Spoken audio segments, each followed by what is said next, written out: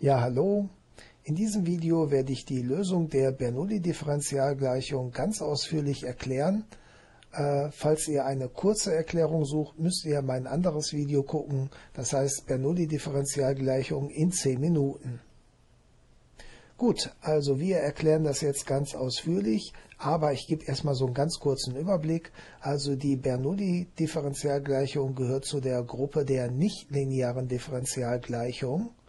Und die Lösungsidee ist folgende. Ich nehme diese nichtlineare Differentialgleichung und durch eine geeignete Substitution überführe ich die in eine lineare Differentialgleichung. Ja, die kann ich dann ganz einfach lösen. Da nehmen wir zwei Verfahren, die wir schon kennen, und zwar die Variablentrennung und die Variation der Konstanten. Ja, also wir müssen noch zwei zusätzliche Verfahren anwenden. Allein mit der Substitution kommen wir nicht aus. Ne, das ist ein alter Mathematikertrick. Wenn du ein neues Problem hast, dann versuche dieses neue Problem auf ein altes Problem zurückzuführen. Ja, das neue Problem ist, wir haben jetzt eine nichtlineare Differentialgleichung und wir führen dieses Problem auf eine lineare Differentialgleichung zurück, indem wir eine geeignete Substitution machen. Ja, wobei wir diese Substitutionsformel nicht herleiten, sondern nur anwenden in diesem Video. Gut, dann beginnen wir jetzt mit den einzelnen Schritten. Beginnen wir erstmal hier mit der Klassifizierung der Bernoulli-Differentialgleichung. Die Bernoulli-Differentialgleichung ist eine nichtlineare gewöhnliche Differentialgleichung erster Ordnung. Gut, also wiederholen wir erstmal das Wort nichtlinear. Das habe ich hier nochmal hingeschrieben. Was heißt nichtlinear? Also eine Differentialgleichung kann nicht linear werden, wenn die gesuchte Funktion y oder eine Ableitung als Argument vorkommen. Also y ist ja hier die gesuchte Funktion. Ja, x ist die unabhängige Variable und y die gesuchte Funktion. Ja, und wenn die gesuchte Funktion y als Argument vorkommt oder eine Ableitung von y, ja, dann ist diese Differentialgleichung nicht linear. Ja, zum Beispiel, äh, ich habe mal ein paar Beispiele für Terme aufgeschrieben, die eine Nichtlinearität erzeugen, zum Beispiel der Sinus von y oder die Wurzel aus der Ableitung von y. Oder wenn y das Argument der Exponentialfunktion ist. Oder wenn die zweite Ableitung das Argument der Kehrwertfunktion ist oder wenn die gesuchte Funktion y in der, das Argument der Potenzfunktion ist. Ja, all das führt zu einer Nichtlinearität. Dann, dann sagt man, dann hat man eine nichtlineare Differentialgleichung. Ja, aber aufgepasst, wenn da sowas steht wie 3 mal y, dann bewirkt das keine Nichtlinearität. Ja, sowas ist linear, denn äh, y ist hier nicht das Argument einer Funktion. Es gibt ja keine Multiplikationsfunktion oder sowas. Ja. Also das ist in Ordnung, aber wenn y das Argument einer Funktion ist oder die Ableitung das Argument einer Funktion ist, dann ist die Differentialgleichung nicht linear. Ne? Vorausgesetzt, ich kann diese Funktion hier nicht umstellen irgendwie. Gut, es gibt noch eine weitere Möglichkeit, die eine Nichtlinearität erzeugt. Und zwar, wenn die gesuchte Funktion oder die Ableitung in Produkten oder Quotienten auftreten. Ja, also zum Beispiel, wenn die erste Ableitung mit der zweiten Ableitung multipliziert wird. Ja, das ist dann nicht linear. Ne? Vorausgesetzt, man kann das nicht umformen. Ja, oder wenn die gesuchte Funktion mit der dritten mit der dritten Ableitung multipliziert wird hier. Ne? Das ist auch nicht linear. Ja, oder wenn die äh, dividiert werden, dann auch. Ja, also die zwei Möglichkeiten gibt es, wenn y oder die, eine Ableitung davon Argument einer Funktion ist oder wenn die Ableitung und die Funktion hier miteinander multipliziert werden oder äh, dividiert werden, ja, oder miteinander potenziert werden, habe ich zwar noch nicht gesehen, aber theoretisch führt das alles zur Nichtlinearität. Gut, äh, in unserem Fall haben wir also auch eine nichtlineare gewöhnliche Differentialgleichung. Ja, und die Nichtlinearität, die steckt hier. Da ist nämlich die gesuchte Funktion y das Argument der Potenzfunktion. Ne, so wie hier, das ist dieser Fall hier. Ne, den hatten wir ja hier, y hoch 3 als Beispiel. Ja, und das ist eben hier die Nichtlinearität. Ja, und andere Nichtlinearitäten kommen aber nicht vor in einer Bernoulli-Differentialgleichung, sondern nur genau diese. Ja, da darf auch nicht stehen y' hoch n, sondern nur y hoch n. Ja, ich habe also nur eine Nichtlinearität und das ist eine Potenz der gesuchten Funktion y. Gut, dann ist das noch eine Differentialgleichung erster Ordnung, ne, denn die höchste Ableitung ist hier die erste Ordnung. Ne, hier steht zwar y hoch n, ja, aber das ist ja keine Ableitung, das ist ja eine Potenz. Ne, da muss man aufpassen, das darf man nicht verwechseln. Wenn das eine Ableitung wäre, wären um das n Klammern drum. Gut, dann ist es eine gewöhnliche Differentialgleichung, weil wir haben ja hier nur x ne, und nicht x1, x2. Das heißt, wir haben nur eine unabhängige Variable. Gut, dann haben wir die klassifiziert. Noch eine kleine Anmerkung. Ich habe hier überall y geschrieben, ne, beziehungsweise y'. Eigentlich müsste ich immer schreiben y' von x, ne, damit ihr wisst, dass y von x abhängig ist. Genauso hier da müsste ich schreiben, statt y müsste ich das hier schreiben, y von x. Na, hier auch, da müsste ich nicht schreiben y hoch n, sondern y von x hoch n. Ja, aber das macht kein Mensch. Ihr seht ja, wie lang dieser Ausdruck dann wird. Ja, man muss das aber im Kopf behalten, äh, weil sonst, sonst macht man Fehler ne, beim Ableiten und so weiter. Aber in diesem Video werde ich euch darauf hinweisen, an geeigneter Stelle werde ich euch erinnern, dass y' eigentlich heißt y' von x. Gut, dann kommen wir zum nächsten Punkt.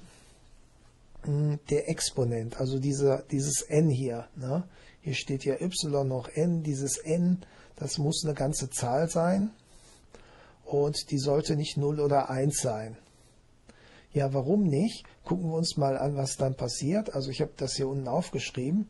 Wenn dieser Exponent hier oben, dieses n, 0 ist oder 1, ja, das habe ich hier dann mal hingeschrieben, dann steht da y hoch 0 bzw. y hoch 1. Ja, und y hoch 0 ist 1, das fällt weg und dann habe ich eine lineare Differentialgleichung. Ja, genauso hier, wenn ich y hoch 1 habe, dann kann ich das schreiben als y und dann kann ich die beiden y hier zusammenfassen. Das heißt, y kann ich aus diesen beiden Termen ausklammern und dann habe ich auch wieder eine lineare Differentialgleichung. Ja, und wenn ich schon eine lineare Differentialgleichung erhalte in diesen beiden Fällen, ja, dann brauche ich ja das ganze Verfahren nicht.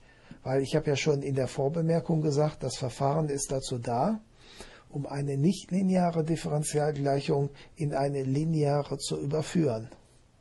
Ja, aber wenn ich schon eine lineare habe, dann brauche ich ja das Verfahren nicht.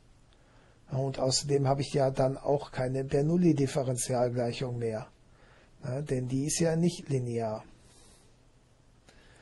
Gut, das als Vorbemerkung und Kla Klassifikation der Differentialgleichung. Äh, ach so, eins habe ich noch vergessen. Dieser Exponent n hier, ja, der kann theoretisch auch aus der Menge r sein, also eine reelle Zahl. Ja, da muss ich allerdings Einschränkungen machen, zum Beispiel hier nur, äh, darf ich nur positive Funktionen nehmen. Ne? Sonst, sonst ziehe ich ja hier die Wurzel aus einer äh, negativen Zahl. Ja, also kann man auch machen, ist aber kompliziert, machen wir hier nicht. Ne? Habe ich so auch noch in keinem Lehrbuch gesehen. Gut, dann gehen wir hier wieder raus. Dann sind wir mit der Klassifikation fertig hier oben. Äh, und dann beginnen wir jetzt mit den ersten Schritten. Der erste Schritt lautet, wir müssen die Substitutionsgleichung aufstellen. Ja, ich erkläre das mal am Beispiel. Also das Beispiel steht hier oben. Ja, alles, was grün ist, ist unsere Beispielaufgabe. Und das ist auch eine Bernoulli-Differentialgleichung. Und zwar äh, dieser, diese Potenz hier, y hoch n, die wir hier haben, das ist dieses 1 durch y. Ja, sieht zwar nicht aus wie eine Potenz, aber 1 durch y ist ja y hoch minus 1. Ja, also mein n hier ist minus 1. Und diese Zahl minus 1, die setze ich jetzt hier in diese Formel ein. Dann habe ich da stehen 1 minus minus 1 und das ergibt 2. Ja, die Substitutionsgleichung lautet also z gleich y hoch 2. Habe ich hier hingeschrieben in grün.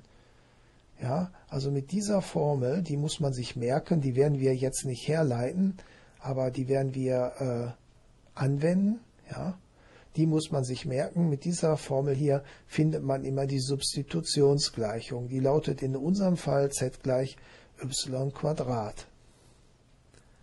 So, jetzt wollen wir ja in dieser Gleichung hier y und y' substituieren. Also muss ich die Formel nach y umstellen. Ja, da ziehe ich auf beiden Seiten einfach nur die Wurzel. Ja, oder anders ausgedrückt, anders ausgedrückt, ich potenziere mit 1,5. Ja, dann erhalte ich diese Gleichung hier. Ne, y. Ja, y kann ich also schon mal hier substituieren, aber ich will ja noch y' substituieren. Ich will ja alles mit y weg haben und deshalb brauche ich noch y'. Ja, gucken wir uns mal an, wie das funktioniert, ja, weil da machen manche einen Fehler. Die sehen hier z hoch ein halb und äh, wollen jetzt y' berechnen, indem sie die Seite hier ableiten, und zwar mit der Potenzregel. Ja, aber die dürfen wir nicht anwenden, sondern wir müssen die Kettenregel und die Potenzregel anwenden. Denn dieses z hier ist ja keine Variable, sondern eine Funktion. Ja, da machen manche einen Fehler. Also wir müssen ja, wenn wir y haben und wir wollen y' haben, die rechte Seite ableiten, ja, aber nicht wie üblich mit der Potenzregel, denn z ist eine Funktion. Ja, ich erkläre das mal, ich habe da was vorbereitet. Also ich habe nochmal diese, diese Aufgabe hier hingeschrieben. Wir haben y, das ist z hoch ein halb, und suchen y'. Und da denken viele jetzt, da kann ich die Potenzregel anwenden. Ja, so wie in der Schule, da steht dann x hoch ein halb. Ja, aber was da eigentlich steht, ist y von x ist z von x hoch ein halb. Ja, also dieses z hoch ein halb ist eigentlich z von x hoch ein halb. Also eine verkettete Funktion. Ne, z von x ist die innere Funktion und ein halb, das ist die äußere Funktion, diese Potenzfunktion hoch ein halb. Ja, und wenn ich eine verkettete Funktion habe, kann ich nicht die Potenzregel anwenden, sondern die Kettenregel. Ne, die habe ich euch nochmal hingeschrieben. Wenn ich eine äh, verkettete Funktion habe, ja, hier ist g die äußere Funktion und f die innere Funktion, und ich will diese verkettete Funktion ableiten, dann muss ich die äußere Funktion ableiten äh, und als Argument die innere Funktion nehmen. Und da muss ich das Ganze noch mit der Ableitung der inneren Funktion multiplizieren. Ja, die kennt ihr aus der Schule, die Kettenregel. Gut, dann wenden wir die mal an. Also ich habe hier z hoch 1,5. Da muss ich erstmal die äußere Funktion ableiten. Ja, sagt mir die Kettenregel, dieses G' bilden. Ja, und die äußere Funktion ist die Potenzfunktion. Und wenn ich die ableite, bedeutet das, ich muss den Exponenten vor dieses z schreiben. Ja, das habe ich hier gemacht. Und den Exponenten um 1 erniedrigen. Aus 1,5 wird also minus 1,5. So, dann sagt die Kettenregel, ich muss hier noch multiplizieren mit der Ableitung der inneren Funktion. Ne, die innere Funktion heißt z von x. Ne, dieses z ist ja eigentlich z von x. Ja, und abgeleitet, wenn ich z ableite, erhalte ich z'. Ja, und so komme ich eben hier auf diese Ableitung. Nicht mit der Potenzregel, sondern mit der Kettenregel. Ja, wobei man innerhalb der Kettenregel nochmal die Potenzregel anwenden muss. Das ist schon klar. Ne? Ja, aber die Potenzregel allein reicht hier nicht, weil z eben, wie gesagt, das muss man sich merken, da fallen die meisten drauf rein, z ist keine Variable, z ist eine Funktion. Gut, dann sind wir hier fertig und dann gehen wir zum nächsten Schritt. Also wir haben hier jetzt folgendes gemacht. Wir haben y und y' berechnet. Ja, und jetzt können wir diese Substitution hier durchführen. Wir haben also alles zusammen. Und das machen wir jetzt hier in diesen Schritt. Und dann haben wir schon sozusagen äh, unser Ziel erreicht. Wir haben eine lineare Differentialgleichung und der Rest ist Wiederholung. Gut, wenn ich jetzt dieses y und dieses y', die beiden Dinge, die ich hier berechnet habe, hier oben einsetze, dann kommt nicht sofort eine lineare Differentialgleichung heraus, sondern ich muss die noch so ein bisschen umformen, ja, ein bisschen vereinfachen. Und deshalb habe ich das mal extra hier auf einen Zettel geschrieben. Also wir haben y und y' berechnet, die habe ich jetzt hier nochmal hingeschrieben und die sollen eingesetzt werden hier oben in die Bernoulli-Differentialgleichung. Die habe ich hier nochmal in blau hingeschrieben. Ja, und das machen wir jetzt mal Schritt für Schritt.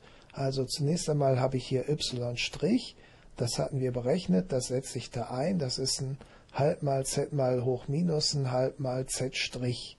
Halb mal z hoch minus ein halb mal z Strich. Ja, dann kommt hier y, das haben wir berechnet, das ist z hoch ein halb, also schreibe ich hin z hoch ein halb. Dann kommt ein Gleichheitszeichen, das übernehme ich.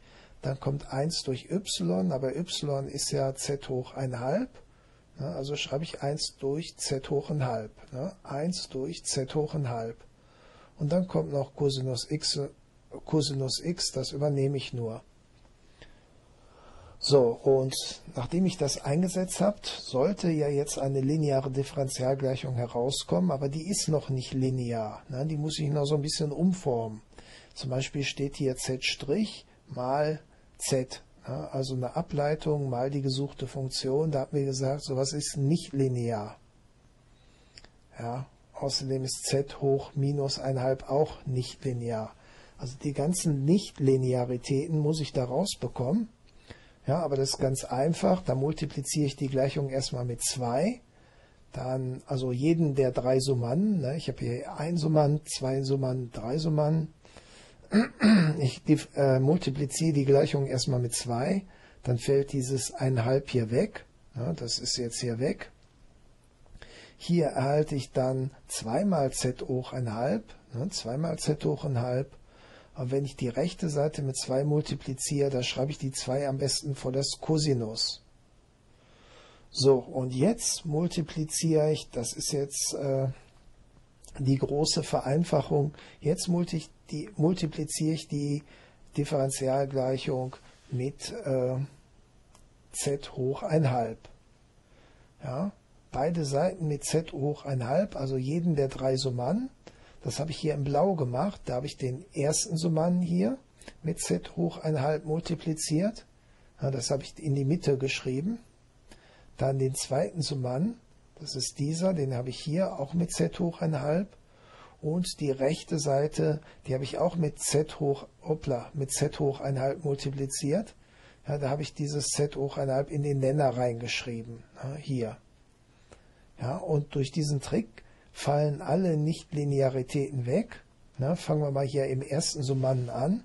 Da haben wir äh, ein Produkt von zwei Potenzen und zwei Potenzen mit gleicher Basis werden multipliziert, indem man die Exponenten addiert. Na, sagt das erste Potenzgesetz, was ihr aus der Schule kennt. Na, also die Exponenten addieren und minus ein halb plus ein halb ergibt 0 und z hoch 0 gibt 1. Das heißt, diese beiden Faktoren fallen weg.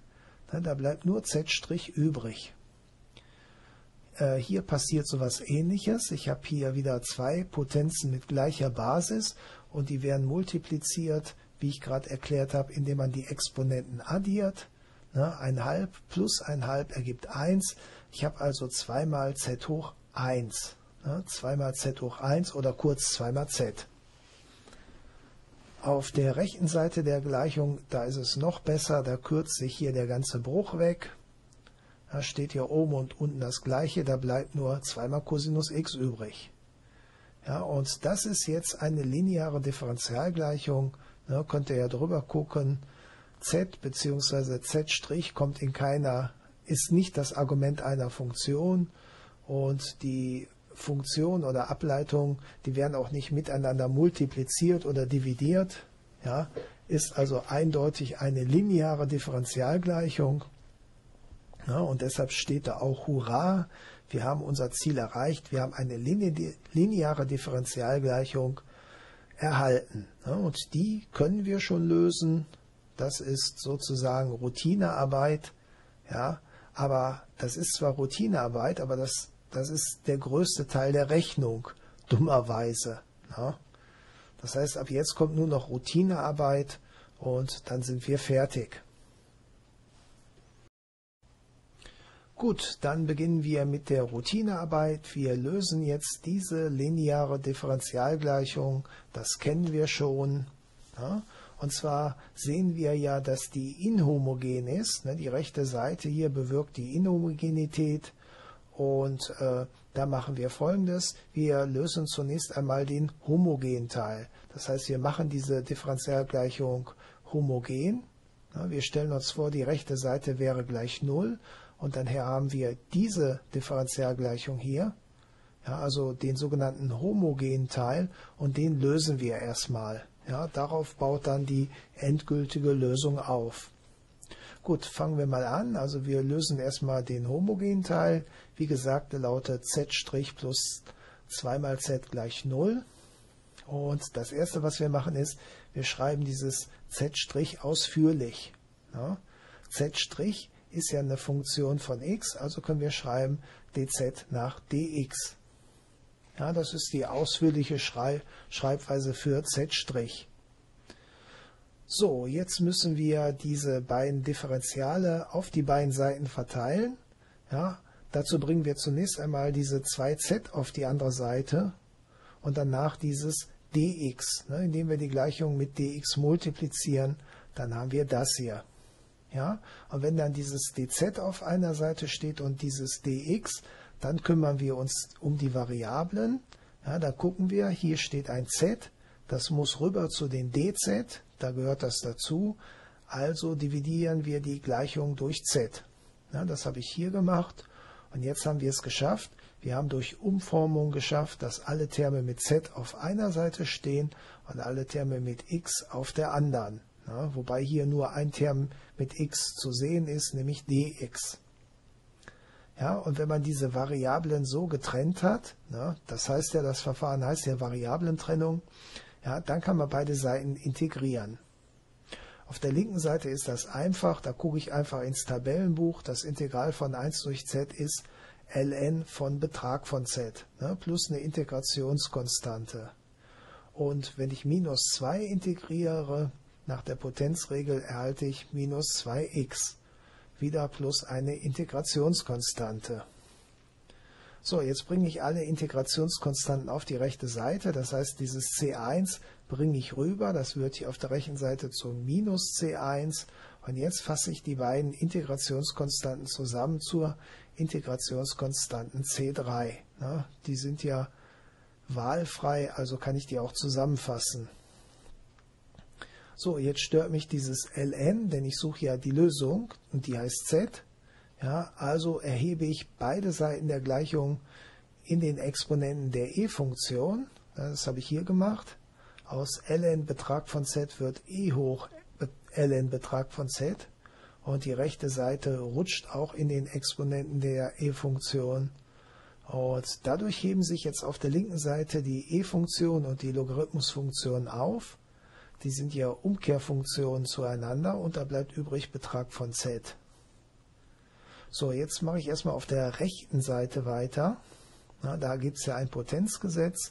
Nach diesem Potenzgesetz kann ich das auch so hier schreiben. Ja, und dieses, äh, jetzt löse ich diesen Betrag auf. Ja, da muss ich also, der, die Betragszeichen werden zu einem Plus Minus. Na, das wisst ihr ja, wie man Beträge auflöst. Habe ich auch Videos drüber. Und äh, jetzt fassen wir diese Konstante zu einer neuen Konstanten zusammen. Na, müssen wir aber ein bisschen aufpassen. e hoch c3 ist ein Ausdruck, der ist immer nur positiv. aber weil ich hier ein Plus-Minus habe, kann der positiv und negativ werden, also kann ich den zu einer Konstante C4 zusammenfassen. Ja. Allerdings muss ich aufpassen, ich muss dahinter schreiben, C4 darf niemals 0 sein, denn dieser Ausdruck hier kann niemals 0 werden. Die e-Funktion wird niemals gleich 0. Die hat keine Nullstelle. Auch mit dem Plus-Minus nicht, denn wenn ich das Minus nehme, dann habe ich eine negative e-Funktion und die ist dann immer negativ, aber auch nie 0. Ja, deshalb musste ich äh, hier hinschreiben, dass C4 niemals 0 sein darf. Ja, und dann habe ich es geschafft. Ich habe also durch Variablentrennung, durch das, durch das äh, Verfahren Variablentrennung schon mal den homogenen Teil gelöst. Ne? Das ist die Lösung des homogenen Teils. Gut, dann machen wir das wieder weg. Und jetzt machen wir weiter.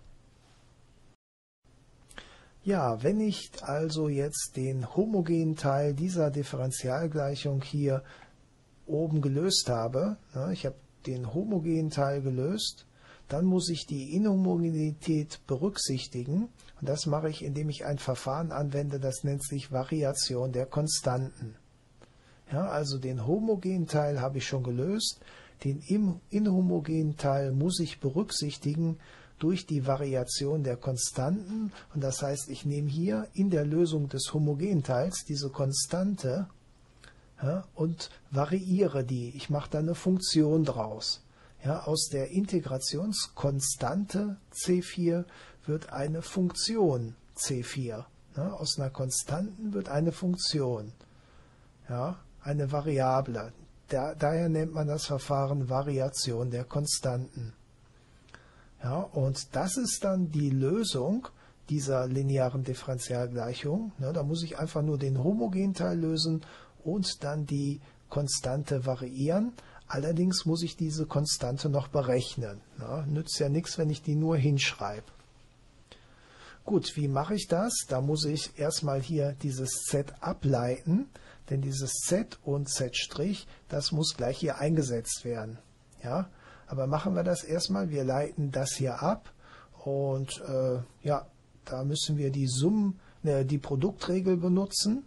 Aber das habe ich euch mal hier auch irgendwo aufgeschrieben. Da habe ich so eine kleine Nebenrechnung gemacht.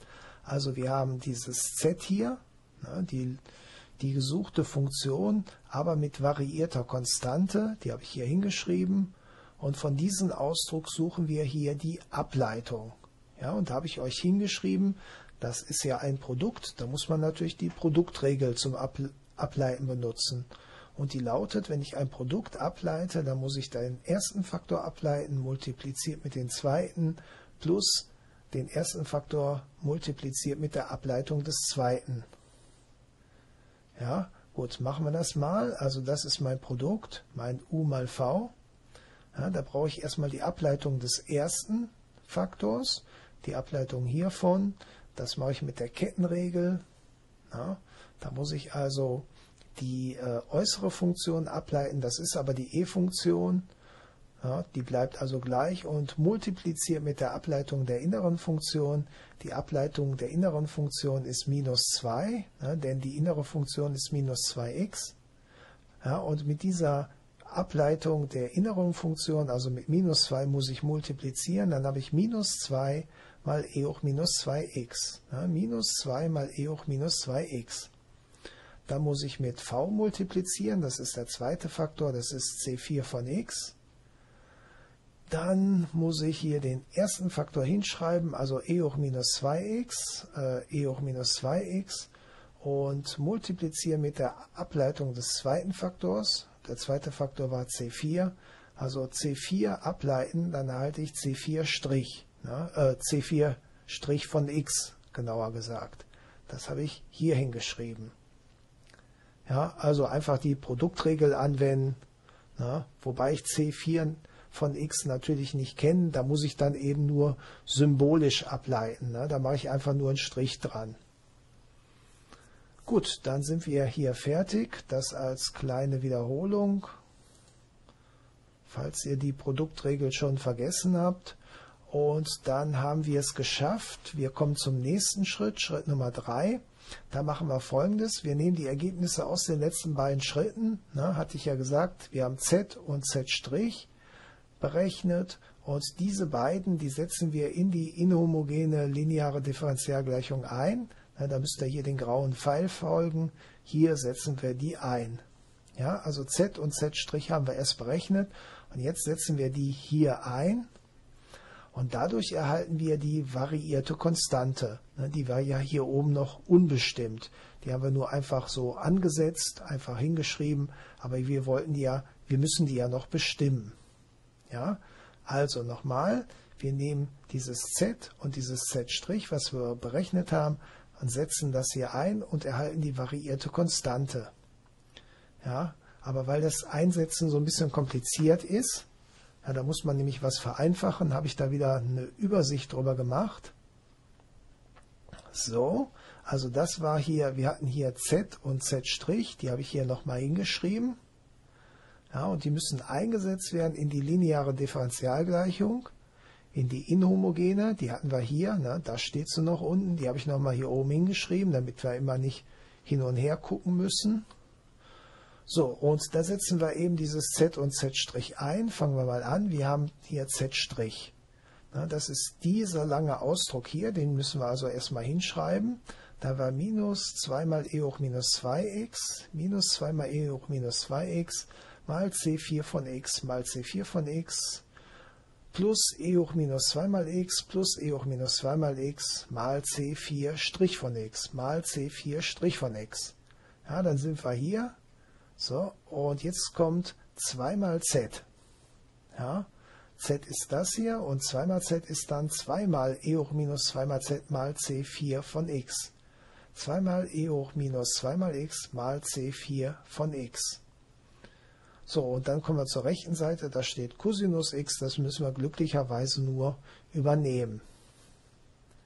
So, wenn wir das also da eingesetzt haben, ja, dann kommen wir jetzt zu einer Kontrollstelle. Hier muss ich nämlich fast alles wegkürzen. Da darf nur die Ableitung der variierten Konstanten übrig bleiben, aber alle anderen Terme mit, mit einer äh, Konstanten müssen wegfallen. Na, und das ist hier der Fall. Wir haben hier drei Summannen und der erste und der dritte, die fallen weg. Ja, da bleibt nur dieser Term übrig. Habe ich hier nochmal sauber hingeschrieben. Gut, wir stellen erstmal nach der variierten Konstanten um, ne, beziehungsweise die suchen wir ja, ne, beziehungsweise wir haben ja noch die Ableitung, ja, aber wir stellen erstmal nach dieser um. Das heißt, wir bringen das auf die andere Seite, die e-Funktion, und dazu müssen wir durch die e-Funktion dividieren. Ne, das dürfen wir, ja, denn die e-Funktion wird niemals zu null. Ne, man muss ja immer aufpassen, dass man nicht durch null dividiert. Das kennt ihr aus der Schule. Ja, das habe ich hier gemacht. Und jetzt müssen wir uns an die Definition der negativen Exponenten erinnern. Wenn hier ein Minus im Exponenten steht, ja, dann kann ich das weglassen, muss dann aber den Term vom Nenner in den Zähler verschieben. Ja, habe ich hier gemacht und habe dann dieses Produkt erhalten. So, jetzt habe ich fast schon äh, diese variierte Konstante, ne, die suche ich ja hier, die hatten wir hier oben eingeführt, ne, die suchen wir ja. Ja, die habe ich jetzt schon fast. Ja, ich habe jetzt nämlich die Ableitung davon. Ja, und wenn ich jetzt noch einmal integriere, dann habe ich sie gefunden. Ja, die variierte Konstante, die wir suchen. Ja, allerdings die Integration, wenn ich beide Seiten der Gleichung integriere, die Integration hier auf der rechten Seite, die ist ganz schön schwierig. Ja, das ist ein Produkt und ihr wisst ja, Produkte sind immer schwierig zu integrieren. Ja, in der Differentialrechnung gibt es ja eine Produktregel, in der Integralrechnung gibt es keine Produktregel. Ja, da gibt es nur Substitution, partielle Integration und Partialbruchzerlegung. Ja, aber eine Produktregel gibt es nicht. Und deshalb machen wir es folgendermaßen. Wir machen das mit einem Computer-Algebra-System oder ich ich zeige es euch gleich von Hand. Ja, dann müsst ihr aber zweimal partiell integrieren. Ja, Gut, ich zeige es euch gleich, wie es geht, keine, keine Sorge. Ja, aber jetzt gebe ich euch erstmal das Ergebnis an.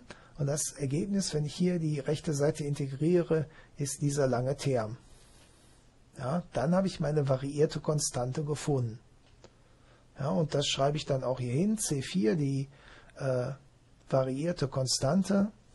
Ja, das ist ein Fünftel mal die e-Funktion, ein Fünftel mal die e-Funktion, mal diesen Sinus- und Cosinus-Ausdruck plus c.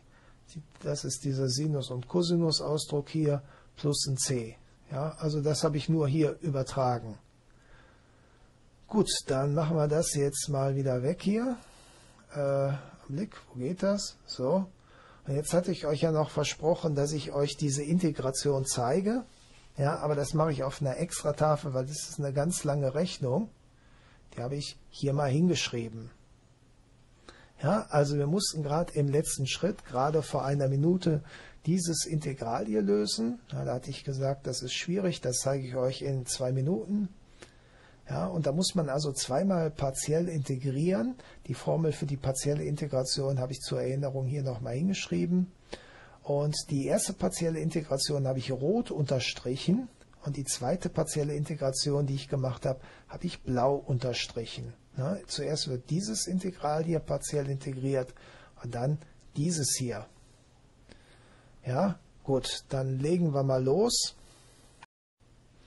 Also mein u' hier, das ist mein Cosinus von x und mein v, das ist hier e hoch 2x. Ja, also dieses Integral ist dieses Integral und jetzt wende ich diese Formel hier an. Also dieses Integral wird zu u. Gucke ich erstmal nach, was ist u?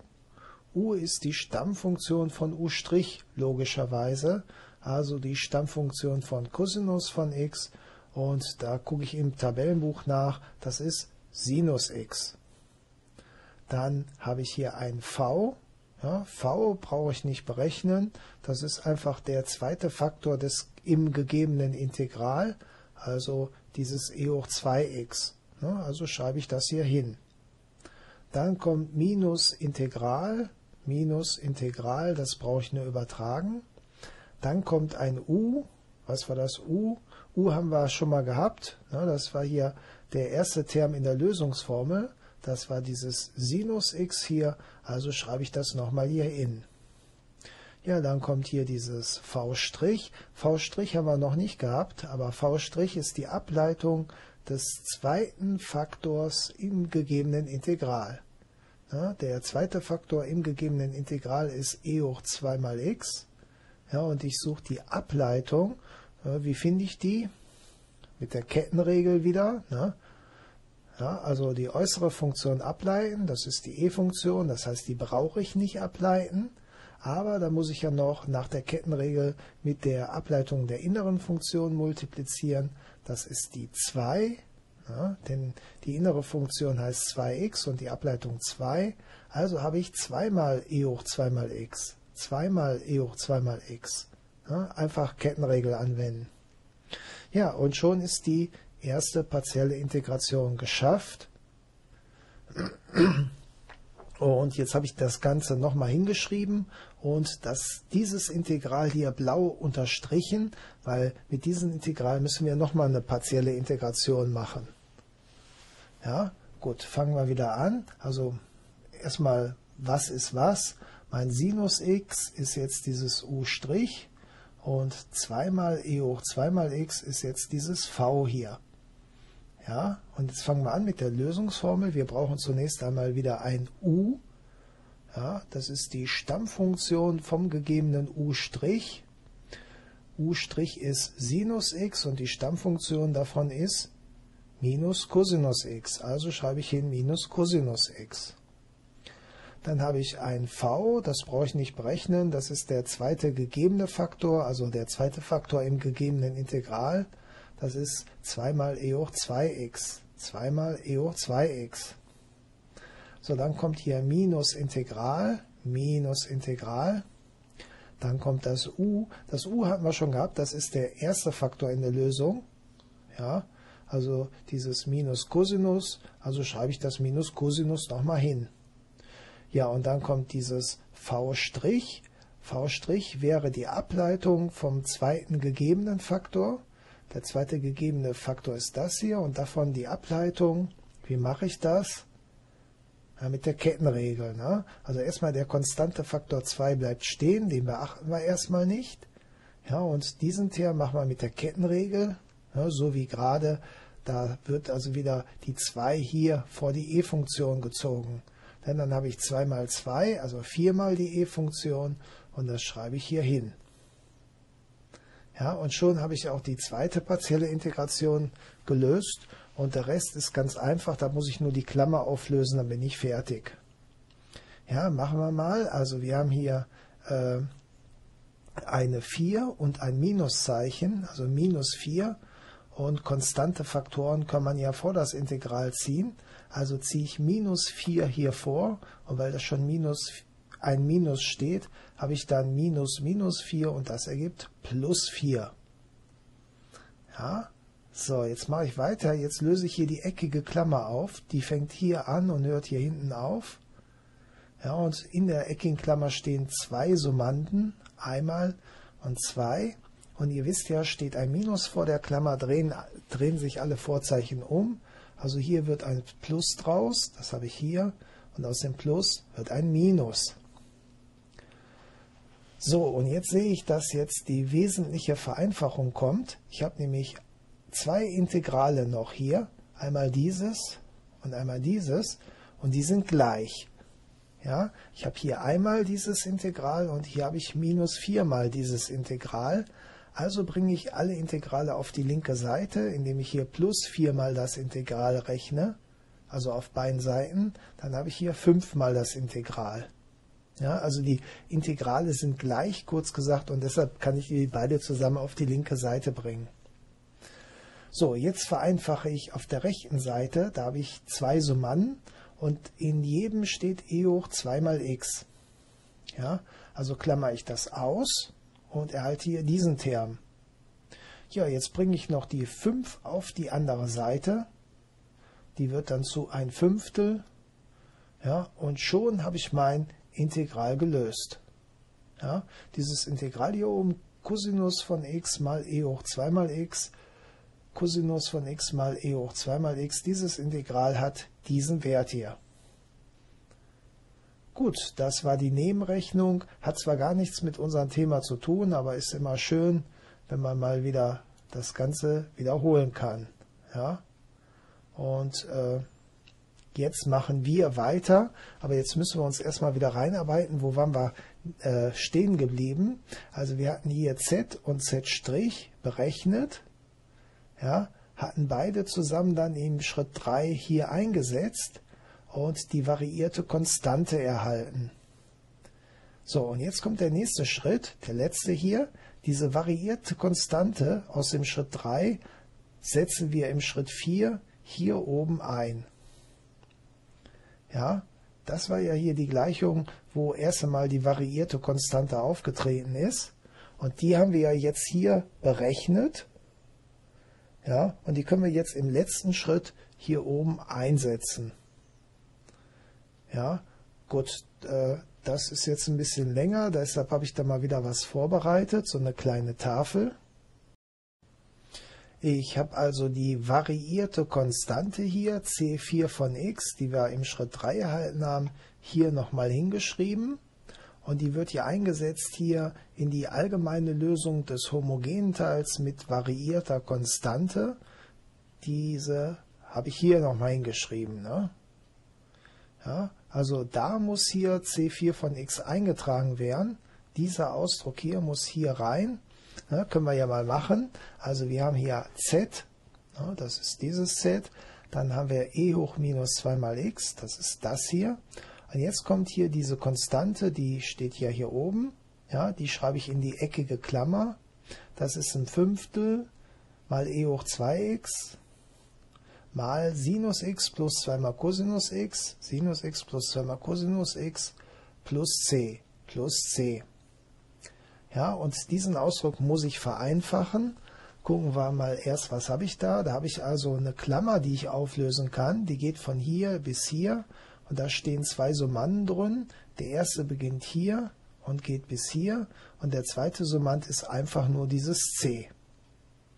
Ja, also zwei Summanden, der lange, ganz lange und das C und Diese Klammer multipliziere ich jetzt aus. Da habe ich also e hoch minus 2 mal x. Das multipliziere ich mit diesem Term und da heben sich die beiden e-Funktionen auf. Ja, denn das haben wir vorhin schon gehabt, wenn ich zwei Potenzen mit gleicher Basis multipliziere, dann addiere ich die Exponenten. Ja, das sagt das erste Potenzgesetz. Und minus 2x plus 2x ergibt 0 und e hoch 0 ist 1. Ja, das heißt, die beiden löschen sich aus und da bleibt übrig ein Fünftel mal äh, Sinus x plus 2 mal Cosinus x. Ja, also ein Fünftel mal Sinus x plus 2 mal Cosinus x. So, jetzt geht es weiter mit Ausmultiplizieren. Ich muss ja noch mit den zweiten Summanden ausmultiplizieren. Da habe ich e hoch minus 2 mal x mal c. Habe ich hier geschrieben e hoch minus 2 mal x mal c. Ja, und dann habe ich es gefunden. Was ist das jetzt? Das ist die allgemeine Lösung. Ich gehe mal wieder zurück. Die steht ja hier unten. Da unten habe ich sie ja hingeschrieben. Ne? Das ist die allgemeine Lösung der linearen Differentialgleichung hier. Ja, also noch nicht der Bernoulli-Differentialgleichung. Wir haben ja noch nicht zurücksubstituiert, aber das ist jetzt schon mal die allgemeine Lösung der linearen Differentialgleichung hier. Ne? Also wir stehen kurz vor dem Ziel. Ja, jetzt muss ich nämlich nur noch eine Sache machen. Ich muss diese äh, Lösung hier wieder zurücksubstituieren, also dieses z. Und aus diesem z wird wieder y Quadrat. Ne? Das sagt mir hier die Substitutionsgleichung. Ja, die, die sagt ja, z ist das gleiche wie y Quadrat, steht ja hier. Ne? Also kann ich dieses z hier schreiben als y Quadrat. Ne? Und die rechte Seite wird einfach nur übernommen. Ja, und jetzt brauche ich nur noch umstellen nach y, das heißt auf, je, auf beiden Seiten die Wurzel ziehen und dann habe ich schon die Lösung gefunden. Ja, die Lösung der Bernoulli-Differentialgleichung. Ja, das Beste ist, ihr übt das an weiteren Beispielen. Dazu könnt ihr diesen Programmablaufplan benutzen. Und zwar die blauen Pfeile geben euch an, in welcher Reihenfolge ihr diese Schritte abarbeiten müsst. Also erst hier runter und dann hier rüber, dann hier und hier. Und diese kleinen grauen Pfeile zeigen immer die Gleichung an, in der man die äh, betreffende Werte einsetzen muss. Also zum Beispiel dieses n muss in diese Formel rein und y und y' müssen hier oben in die Bernoulli-Differentialgleichung rein. Die variierte Konstante muss hier oben rein ne, in die allgemeine Lösung des homogenen Teils mit variierter Konstante. Und z und z', ne, die wir hier berechnet haben, hier und hier, die müssen hier in die lineare Differentialgleichung rein. Ja, also das ist sehr übersichtlich. Man sieht immer direkt, was wo rein muss. Ja, nehmt euch mal einfach eine Aufgabe und macht das hier. Ne? Und kleiner Tipp, an dieser Stelle müsst ihr ja immer äh, eine Integrationsaufgabe lösen. Ja, aber die hat ja jetzt nichts mit dem Thema zu tun. Da kann man dann zum Beispiel auch mit Wolfram Alpha mal eben äh, sich das Integral ausrechnen lassen. Ja, und man kann auch Folgendes machen, das würde ich machen. Äh, immer mal so Zwischenschritte nachrechnen lassen von Wolfram Alpha oder vom anderen Computer-Algebra-System. Ne? Gibt es ja auch online Wolfram Alpha. Könnt ihr einfach kostenlos eintippen, dann rechnet er das aus. Ja, nicht, dass er dann, sage ich mal, zwei Stunden rechnet und dann merkt er, da habt ihr irgendwo einen Fehler gemacht. Ja, und dann müsst ihr alles nochmal rechnen. Ja, lieber so kleine Zwischenergebnisse machen, zum Beispiel, wenn ihr hier die äh, den homogenen Teil löst, einfach mal überprüfen lassen. Ja, dann wisst ihr schon mal, da ist kein Fehler drin. Und nicht erst das Endergebnis überprüfen lassen. Ja, das war's erstmal. Ich verabschiede mich. Auf Wiedersehen.